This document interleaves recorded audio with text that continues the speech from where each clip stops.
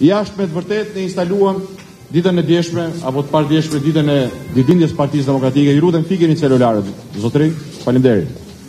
Një instalacion ku ndodhen të përjetësuara firmat e firmëtarëve të Partisë Demokratike. Ndodhet midis tyre edhe firma e tij. Kemi folur boll për arritjet e Partisë Demokratike që janë arritjet e gjithë demokratëve. Por sot është koha të dënoj me ashpërsinë më të madhe aktet e një njeriu, marrëzia e cilit nuk ka fund. Në përpjekjen për karshillëk ndaj Shteteve të Bashkuara të Amerikës, në egoizmin për të marrë peng Partinë Demokratike dhe Demokratët dhe për t'i mbivendosur vullnetin e tij, hallin e tij personal dhe interesat e tij dhe të familjes së tij, familjes tonë të madhe politike. Në këtë betejë me Shtetet e Bashkuara të Amerikës, Partia Demokratike theu për herë të parë standardin e vendosur. Dhe unë dua t'i kërkoj ndjesë shqiptarëve për këtë. Ndryshe nga sta, standardi i vendosur me Tom Doshin dhe Vangjush Dakon.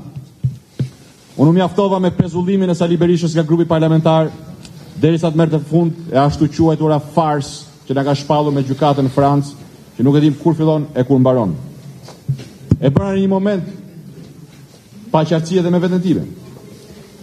Por sot besoj që nuk ka demokrat që s'është i qartë.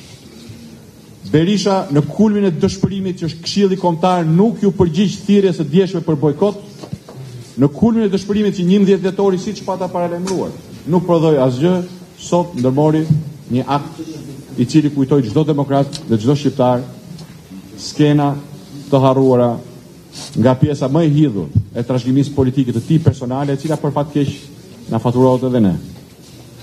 Nga një vit i mbrapshtë, nga një kohë e mbrapshtë.